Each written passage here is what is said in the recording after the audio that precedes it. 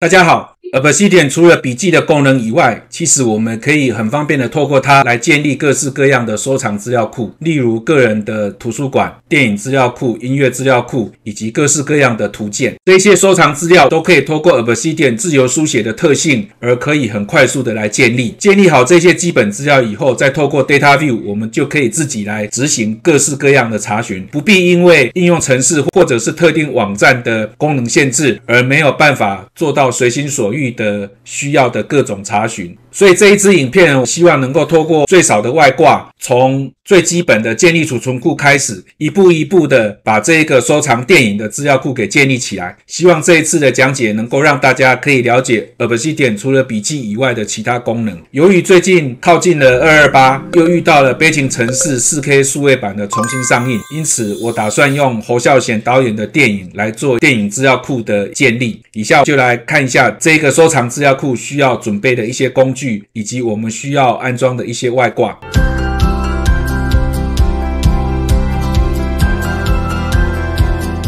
在建立这一个电影资料库的过程中，我们会需要两个工具。第一个是剪贴簿的工具 Dito，那第二个呢是简体转繁体的 Converter ZZ。因为这一次要操作的资料来源是中国大陆的豆瓣网，那它是简体的内容，因此我们会需要透过这个 Converter ZZ 的剪贴簿简体转繁体的转换功能，直接就把简体中文换成繁体中文。接着就来看一下要操作的步骤。第一个需要把电影资料库的储存库给建立起来，需要在档案总管里面。来建立资料库，档案总管按右键选择新增资料夹，这个资料夹的名称把它叫做 Collections。建立好以后。在 Obsidian 里面点击储存库的按钮，在储存库的按钮里面直接再点击开启，然后找到要使用的资料夹 Collections 这个资料夹，然后再点击选择资料夹，它就会用这个资料夹当做这个新的储存库了。我们把画面给放大，接着就来安装需要安装的 Minimal 布景主题。因此我们进入设定，在外观里面找到布景主题，点击管理来做浏览。这第二个就是 Minimal，就是我们这一次要安装的布景主题。好，这个。布景主题选择好以后，再来安装需要的第三方的外挂。需要安装的第三方外挂有下面这几个啊，有 Style Settings、Minimal Theme 的 Settings、From Template。From Template 呢是这一次的模板要使用的一个外挂，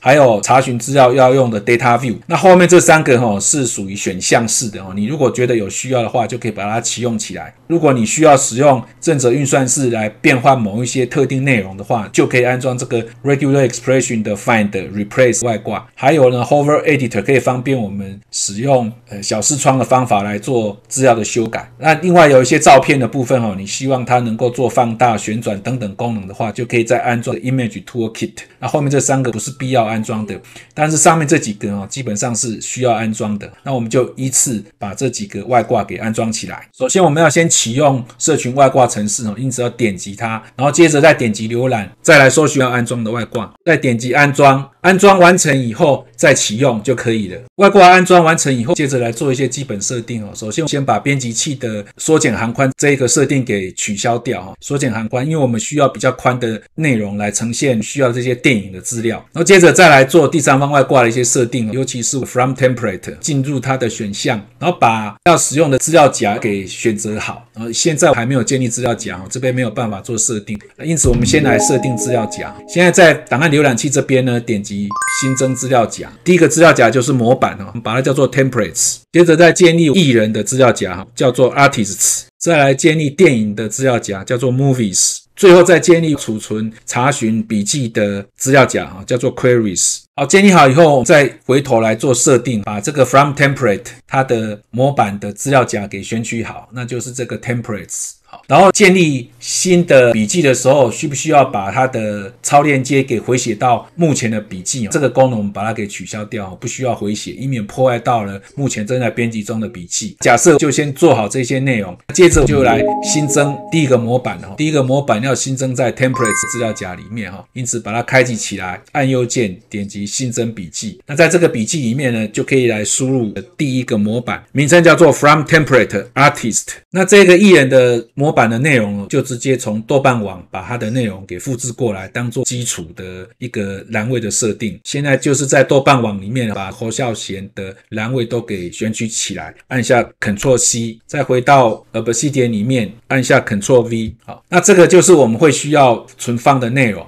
那现在因为这些栏位到时候都是要当做查询的栏位，我按 Ctrl 往上哦，把字体放大。这一些栏位呢可以放在页幕区，但是因为放在页幕区的话，显示的时候就看不到这些内容。但是这些内容是我们需要看的哦，因此我就必须使用 Data View 的栏位格式来设定它。那也就是要把一个冒号变成两个冒号，因此按下 Ctrl H，把一个冒号改成两个冒号，让这一个栏位哦变成是 Data View 的栏位。栏位都输入好。以以后再把所有的内容 Ctrl C 起来，再透过已经执行的 Convert ZZ 它的剪贴簿转换的功能啊，按下我设定好的 Hotkey 哦，是 Auto T，它可以自动把简体中文转成繁体中文。那现在就已经通通都转好了。接着我要把栏位右边的内容给清掉，因为后面这些内容等一下可能要再使用，因此先把它给复制起来。比如说我要把这个侯孝贤这个名字给复制起来，然后把每一个栏位都复制到系统剪贴簿里面。后面这些栏位哦就不需要了，因为变数来取代它哈，因此就把它全部都删除。接着再输入栏位，那 from template 的栏位呢是用大括号刮起来，为了方便起见，这一些栏位哈就直接用中文的字串来当做它的栏名。好，这些栏位都输入完毕了，那接着再把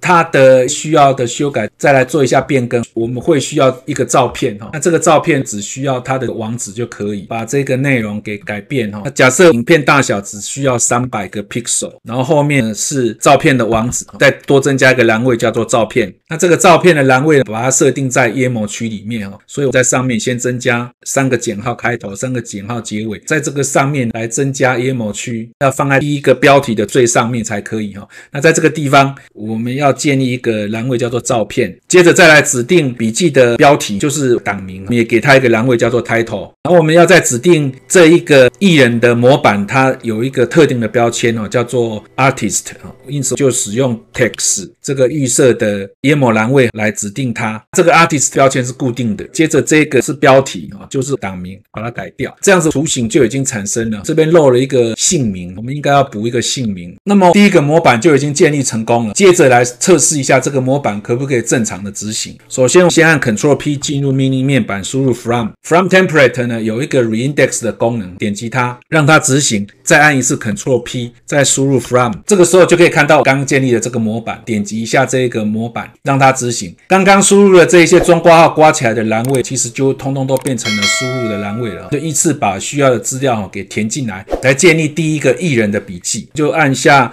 Ctrl 跟倒引号，把 Detail 的视窗开启起来，然后把需要的内容给依序的存放进去。要注意的是哦，现在 From Template 它有一个 bug，就是笔记的档名，它的中文都会被过滤掉。那因此你记得一定要有一个英文的内容在里面哦。才不会出现错误。接着这个照片哦，这个照片刚刚似乎没有完整复制下来，就回豆瓣网哦，直接再点击右右键，再选择复制影像连接，然后再回头把内容给贴进来。如果有漏掉的内容，都可以用这样子的方法回去原始的网页哦，把内容给贴进来。两位都输入完毕以后，就点击 Add。哦，他说找不到路径，他产生错误的资料夹了。回头看一下这个设定，因为。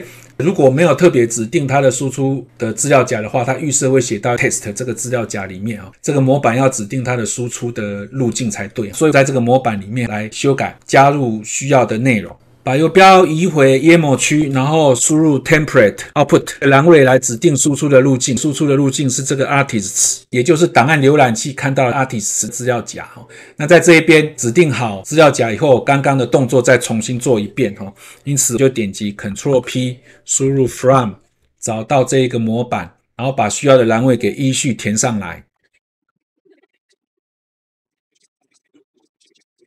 栏位输入完毕以后，点击 Add。然后再到 artist 资料夹看一下，档案就已经产生出来了。好，接着再针对这个内容，我们再来做一些调整哦，就是党名的部分呢，把这个中文名字给换上去。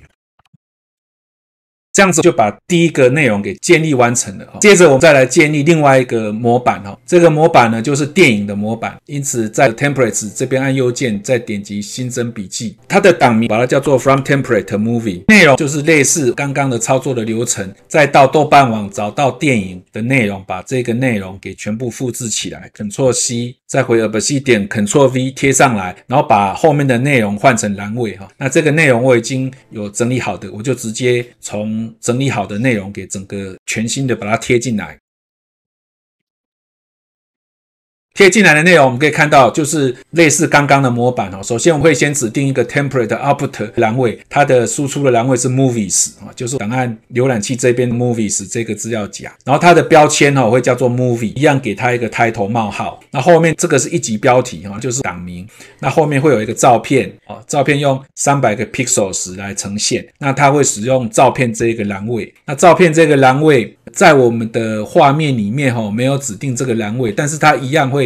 会出现这个内容，让我们可以来输入。但是为了保险起见哦，这边我们应该是加上一个照片的栏位是比较好的，因为到时候做查询的时候会来存取这个栏位。好，那后面就再指定。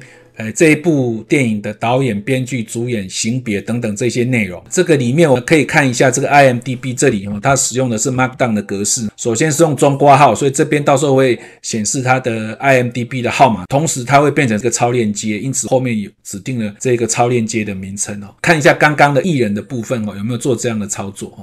它这边没有办法直接跳到 IMDB 的网页，所以把这边改一下啊。这边是显示的部分用中括号刮起来。后面需要用一个网址哦，那它的网址是 https imdb 点 com 斜线 name，那这个是艺人的网址。好，那这样子好了以后，这个样板下次再产生的时候，它就会变成是一个超链接了。刚刚这个侯孝贤这里就可以再做一下修改。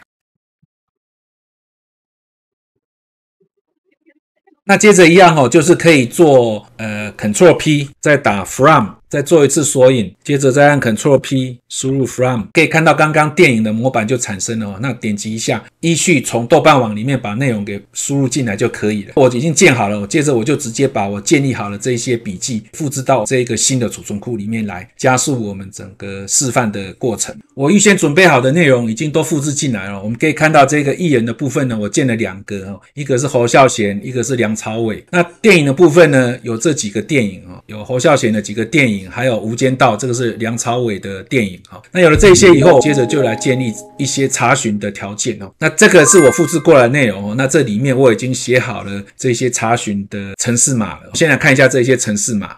那在这个电影的后面哦，我用二级标题写了一个电影，表示是这个艺人他参与过的一些电影的内容。那它这个目前出现的一个 disable，必须要到设定里面把 data view 的 inline 的语法给启用起来哈。因此进入设定。第三方外挂，找到 Data View 的选项，在这个 Data View 的选项里面，把 JavaScript Queries 跟 Inline JavaScript Queries 这个选项都给开启起来。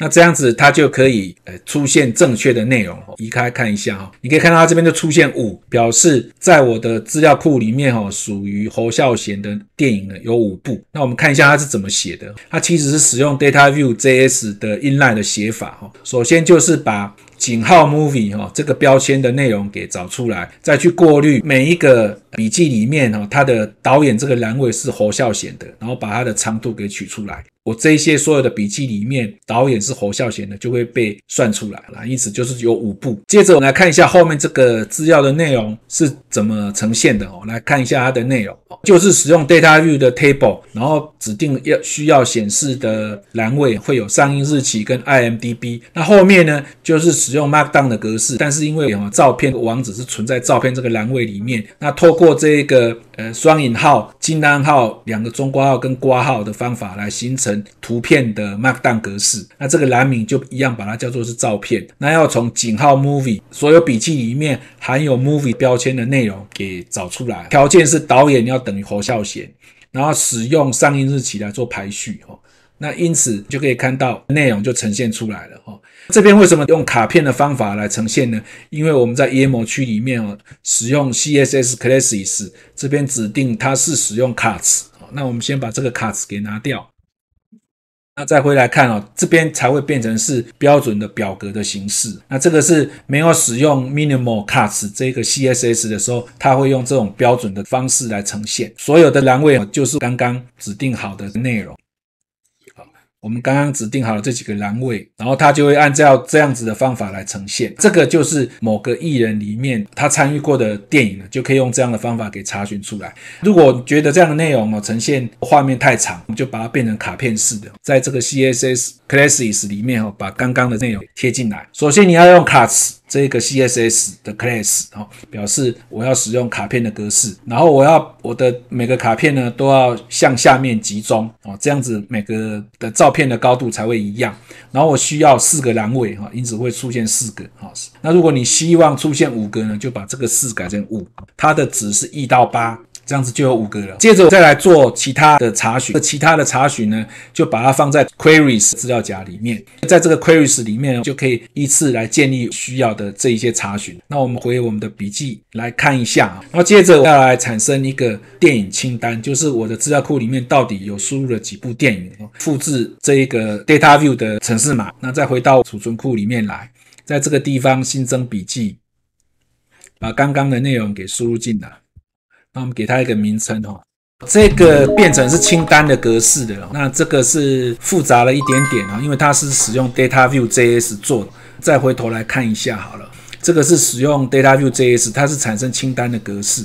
那因为这样的格式哦，Data View 本身的程式码是没有办法呈现的哦，因为它不是 Table 就是 List，因此每一个项目会占独立的一行。但是我们现在希望把它变成是。在一行里面呈现多个啊，那如果要变更这种显示格式的话。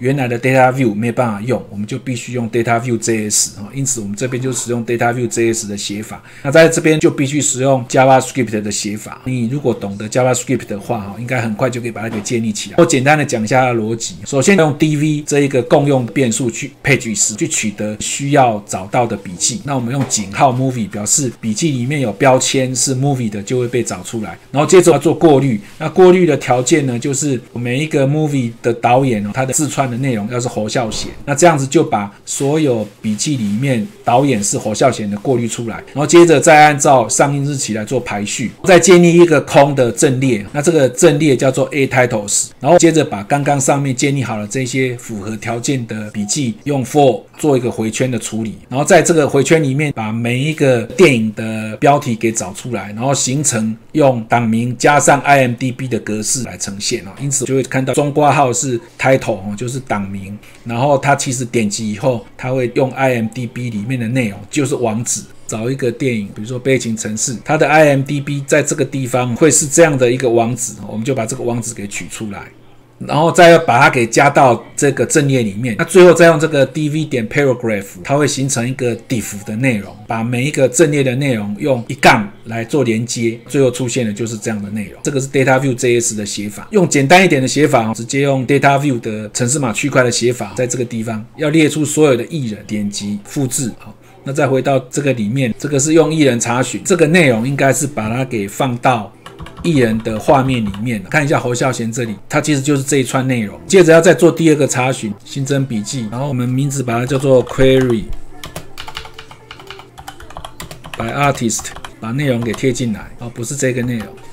是这个内容复制，这个就是把所有的艺人哦全部都列出来。来看一下它的写法，它其实就是一样用 table 找出姓名跟照片，然后是有井号 artist 的笔记列出来，然后呢要把 templates 资料夹呢给排除哦，因此就用双引号 templates 这个资料夹前面多加一个减号，表示是排除，这样子就可以看到所有的艺人的内容就显示出来了。接着再来做一些其他的查询，希望要用。电影的类型来把电影给列出来，比如说要有剧情片，要有爱情片，然后就点击复制，我再回头把这个内容给贴进来。在 queries 这边呢，一样再新增新的笔记，然后把内容给先贴进来，把档名改掉。